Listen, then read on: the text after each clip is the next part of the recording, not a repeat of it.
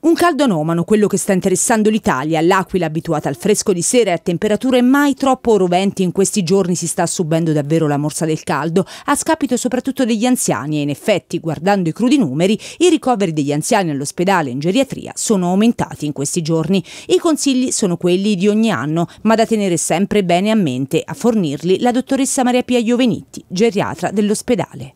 Come geriatra ogni anno torno a dare consigli alle persone che vengono da me seguite sia in ambulatorio che in reparto e sono consigli molto semplici.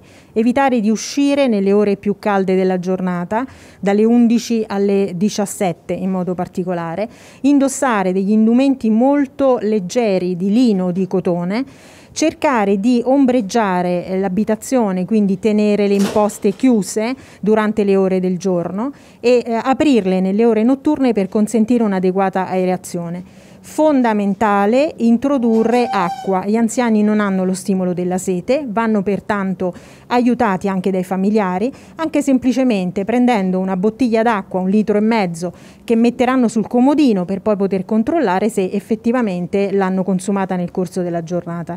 È importante per i pazienti che assumono delle terapie come farmaci per ipertensione arteriosa o diuretici una revisione della terapia da parte del medico di famiglia, mi raccomando mai fare un'autogestione della terapia, allo scopo appunto di ridurre o in qualche caso sospendere farmaci che in questo momento potrebbero essere controindicati. Nel reparto si sta registrando un incremento dei ricoveri, ma non per il classico colpo di caldo che negli anziani ha modalità diverse rispetto ad altre fasce di età, soprattutto perché arrivano pazienti scarsamente idratati e con episodi di delirium. Come ogni anno, eh, in periodi di incremento della temperatura, noi osserviamo ricoveri per disidratazione, pazienti con insufficienza renale che peggiora oppure nuova insufficienza renale legata alla scarsa assunzione di, eh, di liquidi e stiamo vedendo molti casi di delirium in pazienti affetti da demenza, eh, la cui sintomatologia peggiora a causa delle elevate temperature e queste persone non sono sempre in grado di riferire i propri sintomi ai familiari, quindi stiamo osservando molti